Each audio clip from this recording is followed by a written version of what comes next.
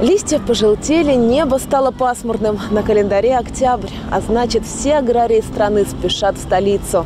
Ведь наступила золотая осень. Экспозиция более 30 тысяч квадратных метров, сотни тысяч участников и посетителей. Делегации из 15 стран мира. Главная тема года – экспортный потенциал сельхозотрасли страны. Президент поставил задачу до 2024 года увеличить этот показатель до 45 миллиардов долларов, то есть более чем в два раза. За 6 лет из федерального бюджета мы направили в аграрно-промышленный комплекс 1 триллион 200 миллиардов рублей. Это, конечно, беспрецедентная сумма поддержки, которую никогда сельское хозяйство не получало. На этот год мы предусмотрели более 250 миллиардов рублей федеральных средств. Ну, сейчас идет работа над бюджетом а, следующего периода на 2019 год. Широкая география выставки Курской области затеряться не позволила. Все-таки одна из главных житниц страны и успешная площадка для развития российского животноводства.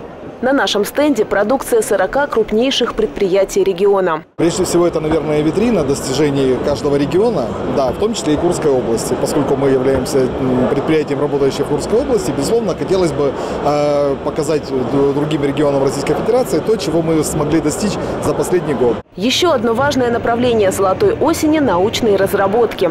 Курская область преуспела и в этом. Наша сельхозакадемия – постоянный участник выставки. В этот раз привезла 20 проектов. Один из них посвящен получению пектина из жома, остающегося после переработки сахарной свеклы. Если мы из э, вот тех отходов, которые в Курской области имеем от переработки сахарной свеклы, переработаем и получим пектин, мы будем иметь прибыль большую, чем от получения сахара. На золотую осень приезжают не только себя показать, но и посмотреть, в чем преуспели другие.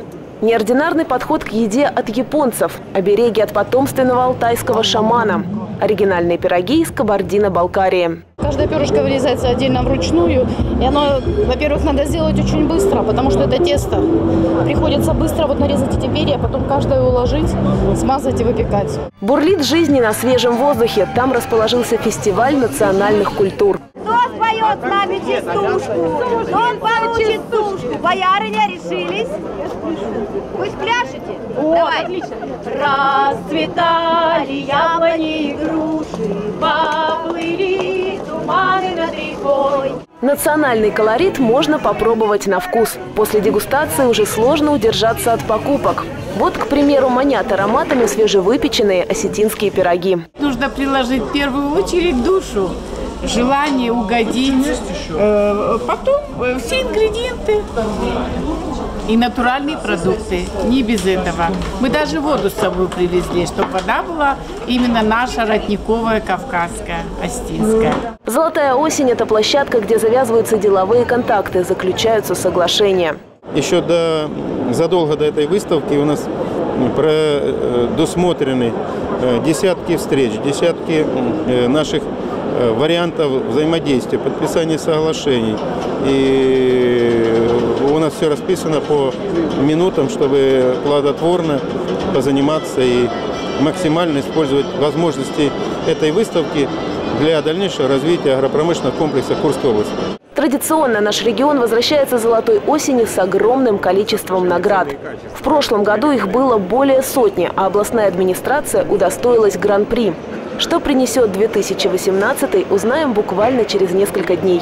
Выставка завершит свою работу 13 октября. Ангелина Рязанцева, Андрей Зарубин, телеканал «Сейм».